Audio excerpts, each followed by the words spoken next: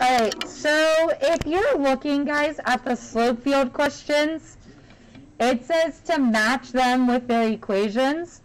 So to match these slope fields with their equations, like letter C, for example, that one's really easy for me to see what slope field that goes to. Because letter C, if you pick a point, hence the blue point they gave you, and you just sort of follow along with that,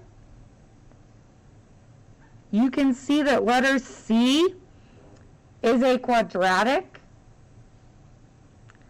So the derivative of a quadratic is going to be linear.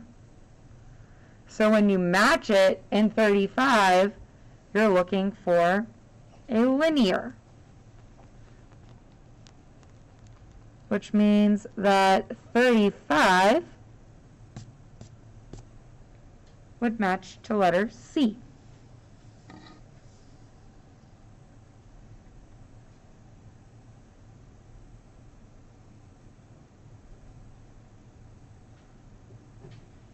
And then letter F at the top, that's exactly like the demo answer I gave you. So letter F, you can see is circular. So if you think about the derivative of a circle, it's always going to be your um, x squared plus y squared equals r squared.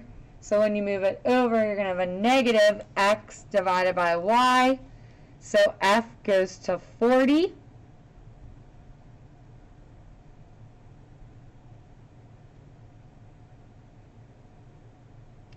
And then what you could do if you're really struggling to match them is plug in a value. So if you plugged in dy dx equals y. So if you pick the point for y, this means the only values that are changing are changing on the y's. So the x's have to always be the same.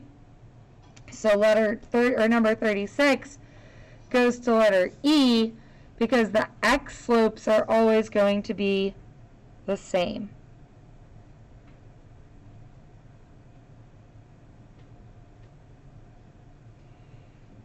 and then 37. And again, you could always work this backwards as well. Think about the fact that you could use our technique we learned the other day. So here's paper. If this is dy dx equals x minus y, you could add y to the other side and multiply both sides by dx.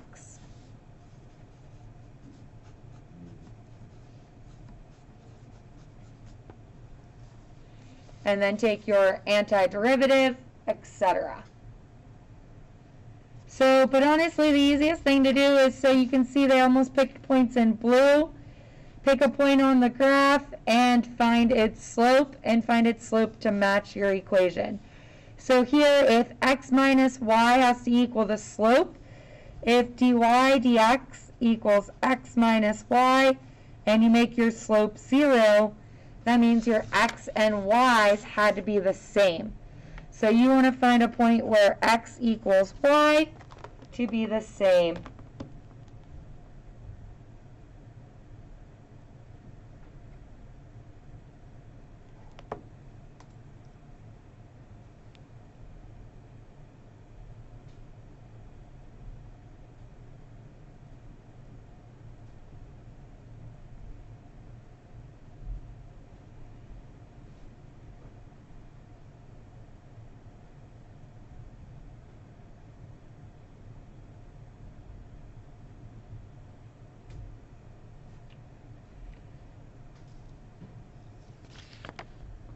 So everywhere x has to equal y for 37.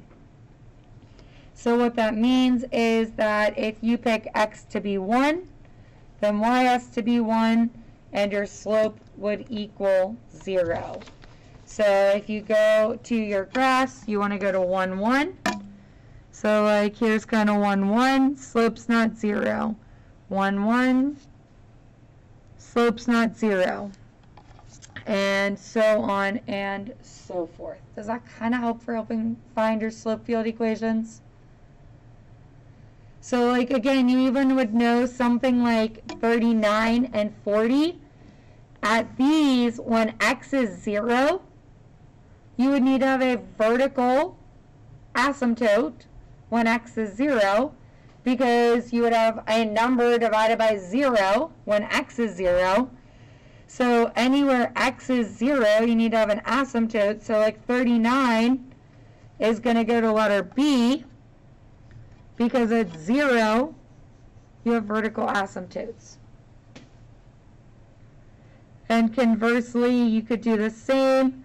So like here where you have your asymptote here where you can see like the slopes are identical, that's going to go match your 37 to my D, etc.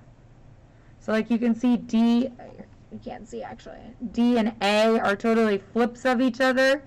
So D and A are going to match to 37 and 38 because they're just going to be the flip of that equation. So you can see how 37 and 38 equations are flipped.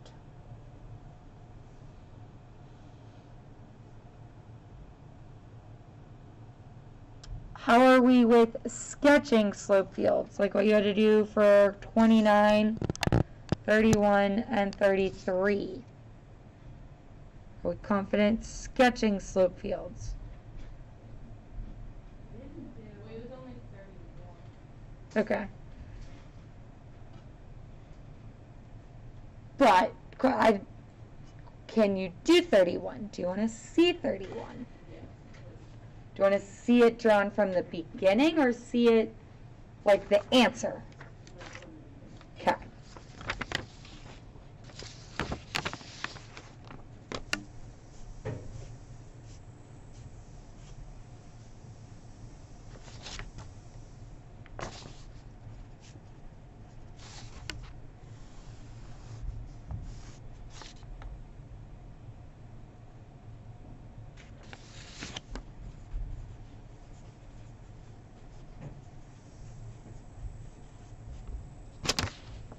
Okay.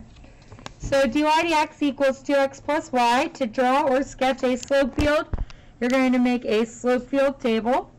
So you have x plus y as the left side of the slope field because now our table is coordinate points and dy dx is like the right side of our table. So to get your slope field values, you could start anywhere on that slope field. So the furthest point in each corner is this point right here at negative 1, negative 1. And then to draw in the slope field, you'd plug negative 1, negative 1 into dy dx. So you'd have 2 times negative 1, which is negative 2. Negative 2 minus 1 is negative 3. So that means I need to draw a line with a slope of negative 3.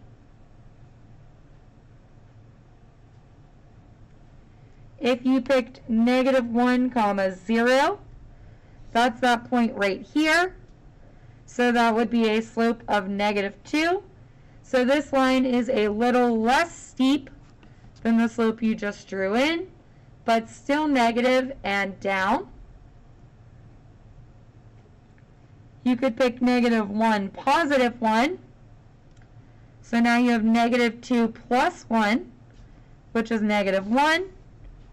So again, a little less steep and still down.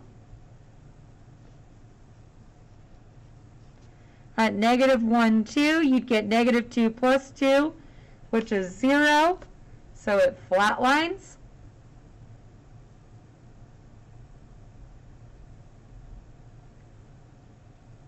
And then you could continue that process, but now doing the next row. So it would be like negative 1, 0 or sorry, 0, negative 1, 0, 0, 0, 1, and 0, 2. So that zeroes out all of your x's, and then that just leaves you with the y's. So that's like negative 1, 0, 1, and 2 for all of your slopes. So this slope is negative 1 here. So I'm going to kind of try to mock that slope of negative 1 down here. 0 is a flat line. Positive 1 should be almost directly the opposite. And then slope for 2 should be steeper.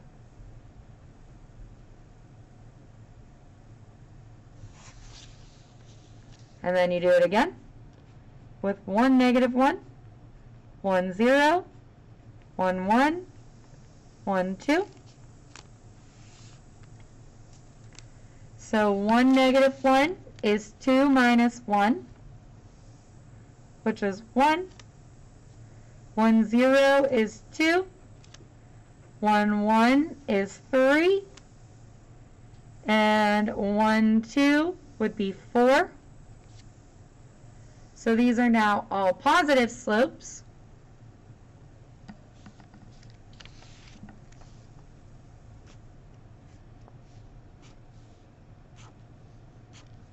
And they get steeper as you go.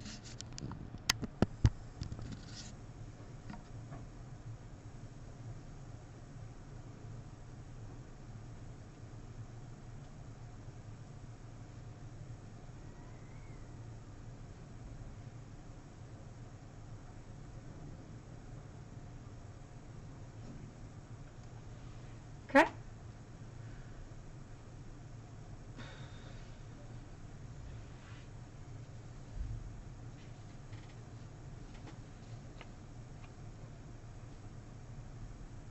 Your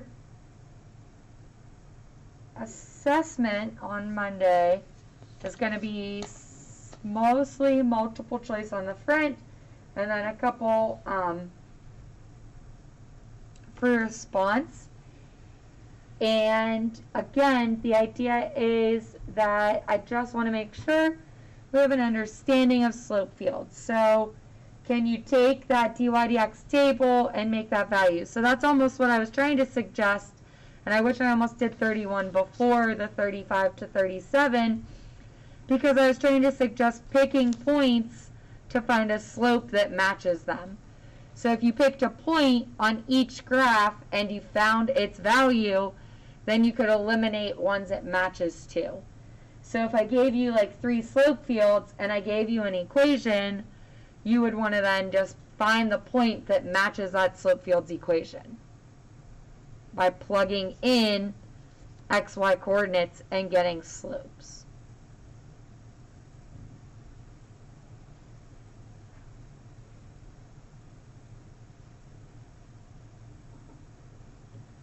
So any other questions from that assignment that you have or any other assignments we've had?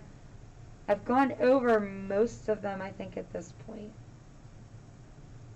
But not always with everybody in my room.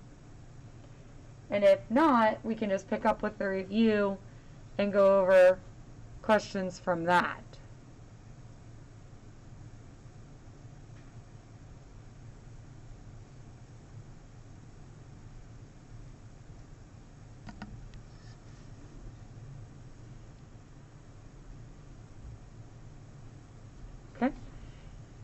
Then go ahead and take out your 6162 review.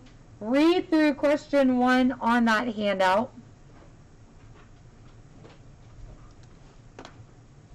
So the antiderivative of 2y is 2y squared over 2.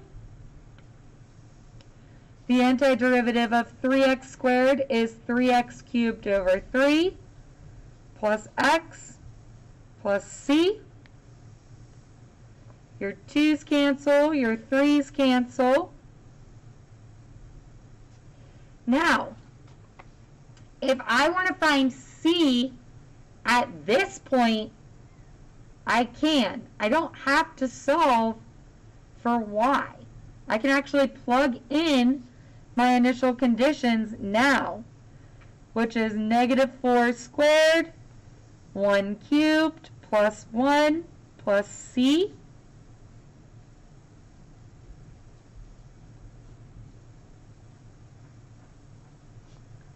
and get that 14 is equal to c.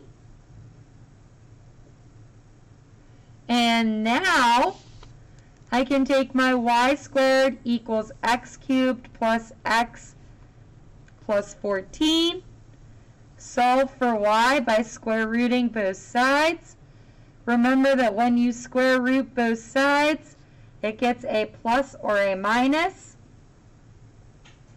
Now, we wanted to match our initial condition.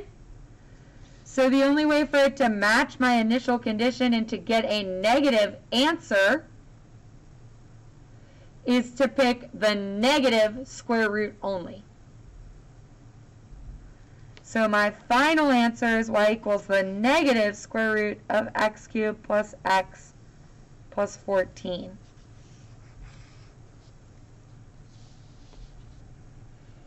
Because the positive square root would not give you that negative 4, which would therefore not be in my solution region.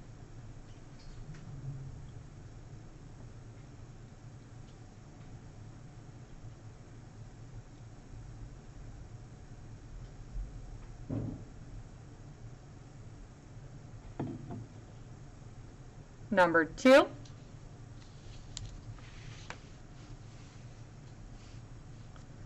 The function f is differentiable for all real numbers. The point 3 1 fourth is on the graph of y equals f of x. And the slope at each point on the graph is given by the following equation. So again, that 3 1 fourth is my initial condition. The dy dx represents your slope. If they ask you to find y, they're asking you to find the original function that meets those initial conditions and slope derivative.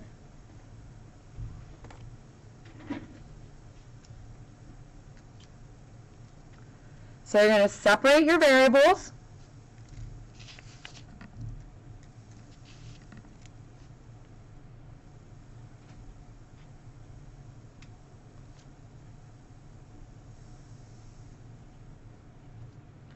So divide by y squared, multiply by dx. Integrate both sides.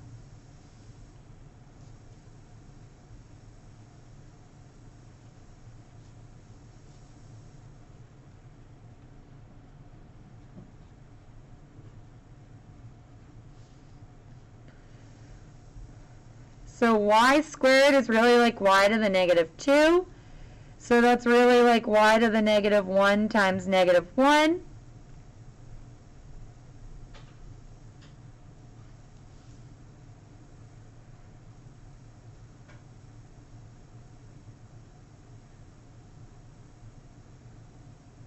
At this point, I would find my C value and then clean up after. So my Y value is 1 fourth, so you have negative 1 over 1 fourth equals 6 times 3 plus 3 squared plus c. Well, negative 1 over 1 fourth is really like negative 4. Yes. Thank you.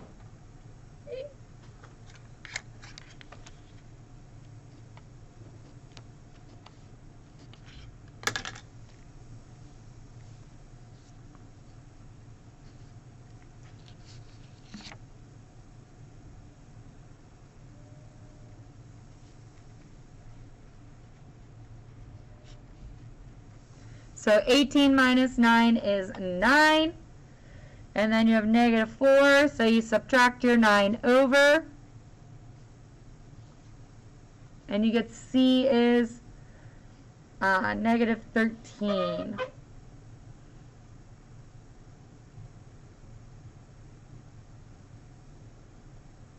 At this point, you could go take that and plug it back in. So it's negative 1 over y equals 6x minus x squared minus 13.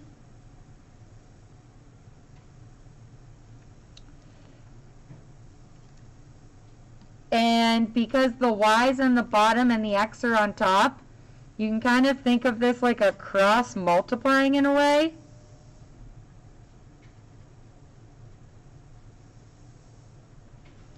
So to get y up top, you're almost going to flip-flop their positions.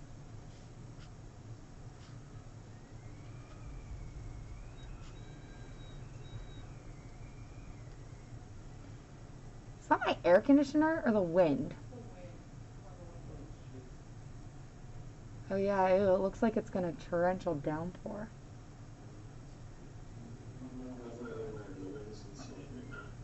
Yeah. I Zach can attest. Sometimes my air conditioner makes some funky noises. Alright, is everybody okay with how the Y and the X's sort of flip-flop positions?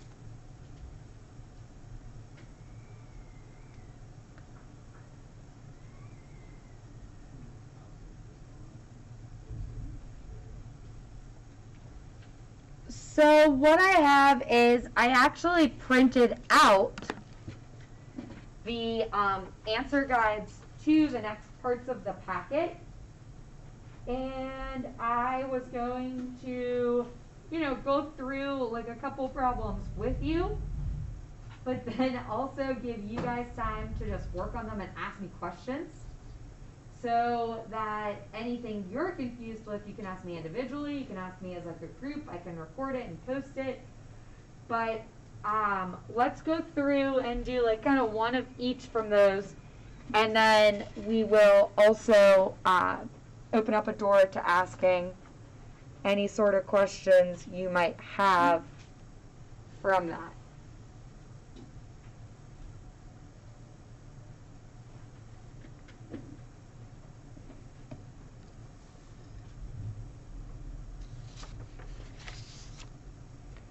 So in that first example,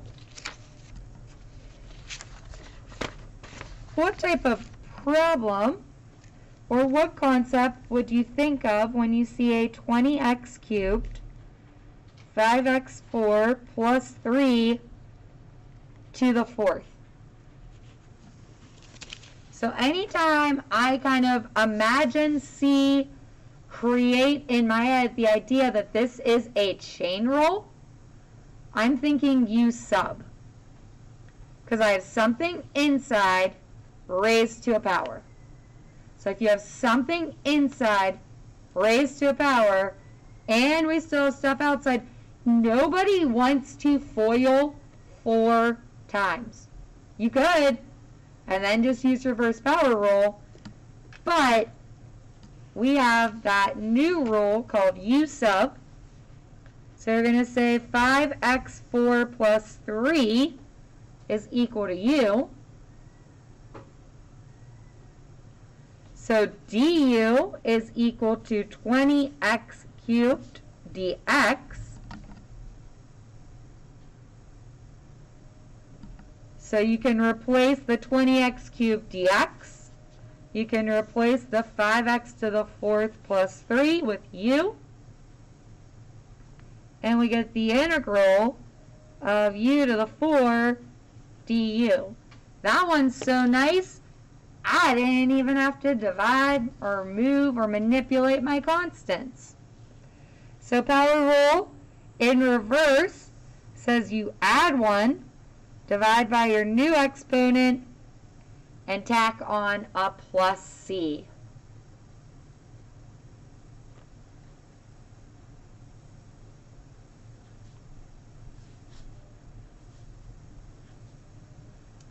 So I have 5x to the fourth plus 3 to the fifth all over 5 plus c.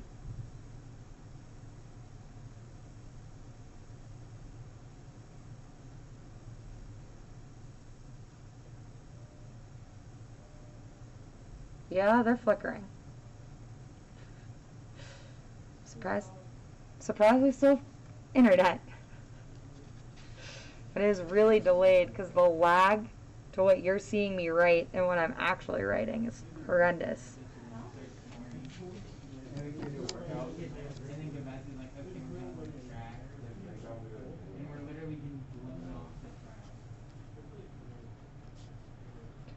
All right.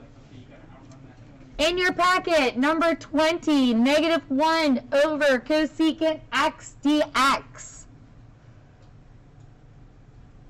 What could I do to help solve this problem? I don't have an antiderivative for a cosecant in my denominator.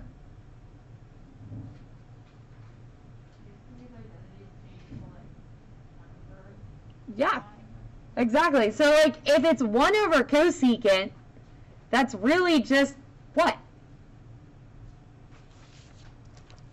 Well, if you don't know it the easy way, you could say it's 1 over, because cosecant's really 1 over sine. So it's really negative 1 over 1 over sine. And what happens when you have a fraction in your denominator? Yep, you flip it, so it's going to come up to my numerator as negative sine x dx. And the antiderivative of negative sine x dx is perfect, cosine x plus c.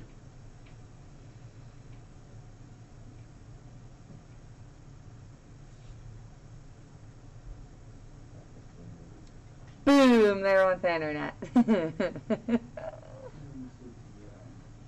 Actually, to be honest, I think the light bulb burnt out on my projector.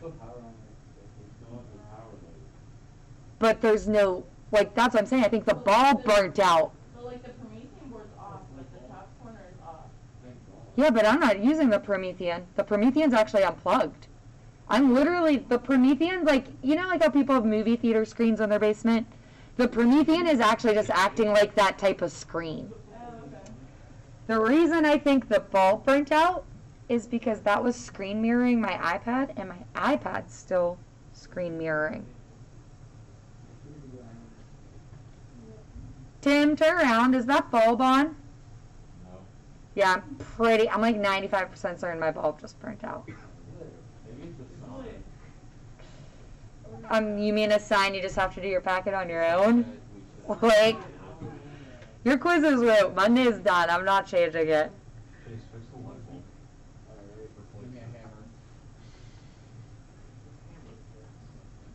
Okay, so how many of you have iPhones? You're a liar. I was gonna tell you you can watch the video while like I'm teaching it back here. Yeah, Yeah. cause I don't have like a good alternative. So if you go to like Teams, the Zoom tab is always on there.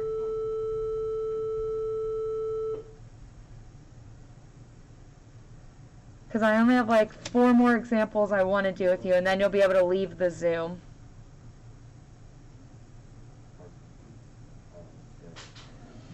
I was like, Brooke Bell wants to enter my waiting, or is in my waiting room. Totally welcome to work on the packets, and I'll pass out all the answer keys. So if you turn to like 22, now that I made all your phones join, u would equal x cubed minus 4. They tell you that. So you have to find your du, which would be 3x squared dx. So then in that case, you have to almost pull out the 3 and the 15 so that you have the x squared dx matching for du and you get e to the u du and you can simplify 15 divided by 3.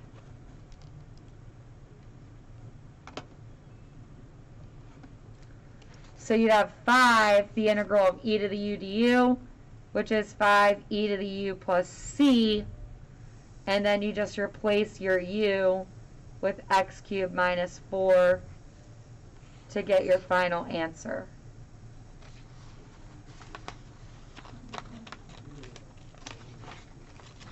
So you'll have initial conditions like what we did at the beginning. We'll have U substitution, but it's also going to mix in some non-U subs. So like not every problem is going to need U substitution. And then we'll have a couple like the next packet that says separable where you might have like dy dx equals e to the x minus y. And you have to get the dy's on the left and the ex dx's on the right. So you need to recall that any exponent like that is really the same as multiplying on bottom. Well, yeah. And then because it's a negative exponent, that's really like dy dx equals e to the x over e to the y. Because if you think about your like base rule, it's that you subtract the top exponent minus the bottom, which is how we get to that. Then you would cross multiply, so you had e to the y dy equals e to the x dx. And then you just integrate both sides. And the antiderivative of e to the y is e to the y. Antiderivative of e to the x is e to the x plus c. And then to get y alone, you have to ln both sides. So you'd get y equals the natural log of e to the x plus c. So there will be some like that where you have to move and separate the dy dx's. You'll have some like what we did before where you have an initial condition where you have to separate the ey and the x and y. And then you'll have a couple multiple choice with slope fields and some u sub with uh, endpoints and without endpoints. So do we need to see like a definite integral with endpoints and changing our bounds? Or we have, yeah, you want to see an endpoint changing bound? So in your packets, that would be like on page four, and we'll just do number 25.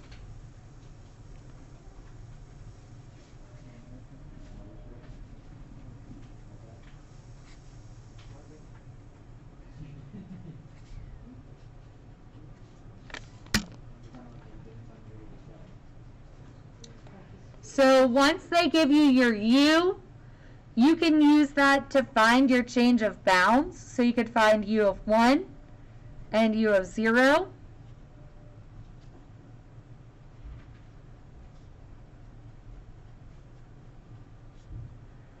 So my new bounds would be 5 and 1.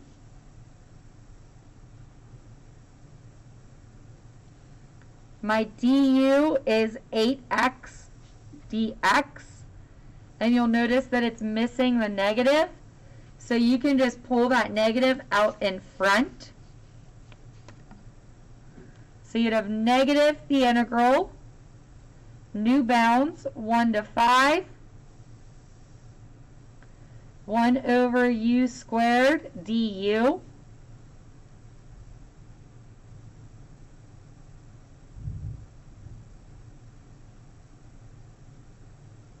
And actually, this problem asked you to express it in terms of new bounds and not evaluate. And I can't recall if on your multiple choice or if it was on a different one.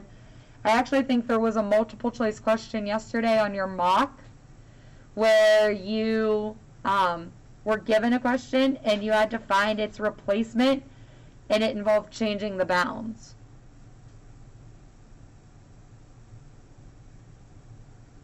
Would we put like the X's back into it or not? So, well, this one says to express it in terms of u, so then you don't have to. And if you change your bounds, you don't put x's back.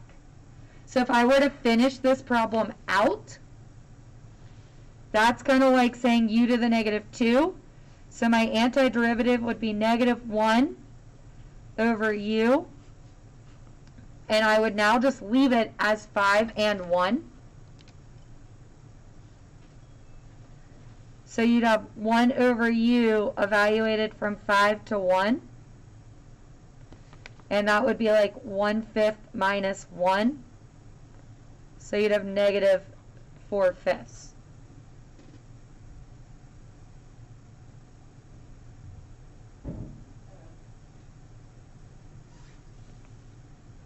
So let me pass out answer keys to you. There's not work on them, it is just your final answers.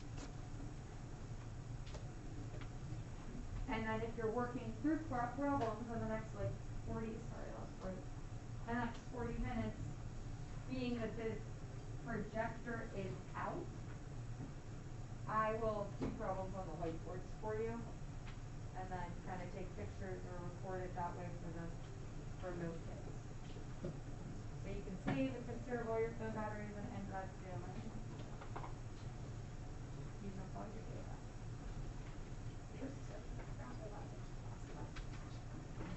Like, don't know. You're welcome.